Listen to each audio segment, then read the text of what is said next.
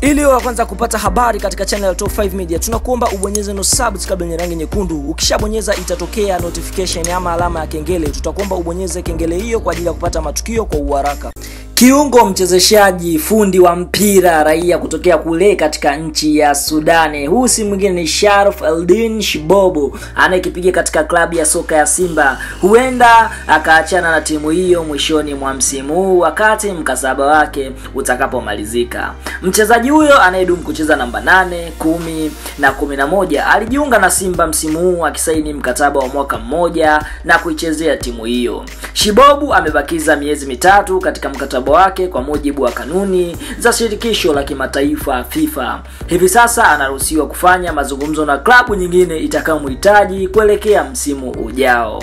Pia taarifa kutoka ndani ya uongozi wa timu hiyo, kiungo huyo atatimka baada ya kupoteza namba katika kikosi chake e, cha Simba tangu alipokuja e, Steven Van der Beek kama kocha mkuu wa timu ya soka ya Simba. Mtoa taarifa amesema kuwa kiungo huyo kipindi cha aliyekuwa kocha mkuu Mbelgiji tena mwingine huyu Patrick Authim alikuwa akipata nafasi ya kucheza kikosi cha kwanza, lakini mambo yamebadilika kwa sasa.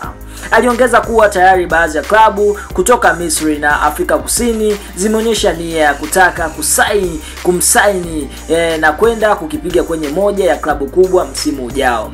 Shibobo hivi karibuni sasa e, hana furaha sana kwenye timu e, katika kikosi cha Steven Van ambaye ameonekana hampi nafasi ya kucheza katika kikosi cha kwanza tofauti na ilivyokuwepo kwa Uthimsi. Pia fahamu kwamba hali hiyo imesababishwa e, kusiwepo maelewano mazuri kati ya kiungo huyo na kocha wake Steven, hivyo sasa yupo katika mipango ya kuihama timu hiyo mara baada ya mkataba wake kumalizika. Tayari baadhi ya klabu zimefanya mazungumzo naye e, zikitaka kumchukua na inasemekana kwamba e, klabu ya soka Yanga naye pia ni miongoni mwa timu ambazo zinamtaka mchezaji huyo ili aende akaungane na Haruna Nionzima na Balama pale katikati kwa ajili ya kufanya mambo. Kingo huyo hivi sasa yupo nyumbani kwa Sudani akiwa kwenye mapumziko ya muda mfupi tangu serikali ilipotangaza kusimamishwa kwa ligu kutokana na virusi vya corona.